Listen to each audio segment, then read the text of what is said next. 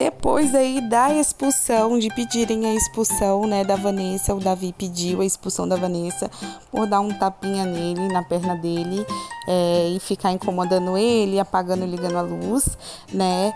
É, o povo também tá pedindo a expulsão da Bia por botar a mão aí no ombro do Wesley Safadão. Lembrando que ela não pode tocar o artista, é uma norma, é uma regra, e ela foi advertida no confessionário aí pelo Big Boss, aí dando um esporro nela daqueles, falando que da próxima vez que ela ficar é, em cima do artista, tocar o artista, ela vai ser expulsa.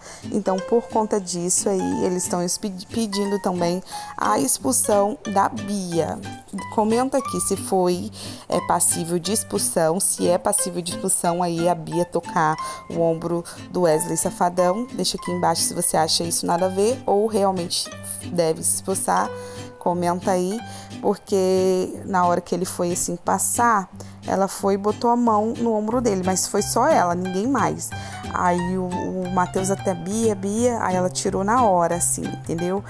Mas vou deixar para vocês que eu não tô aqui para julgar ninguém. Comenta aqui esse caso e o caso da Vanessa, que eu já postei vários vídeos lá e o Davi segue nervoso aí andando para um lado para o outro, querendo que a produção dê jeito e solução. Se a produção não expulsar a Vanessa, ele vai fazer alguma coisa, não sei. Ele falou que vai virar o bicho, mas isso não vai ficar impune.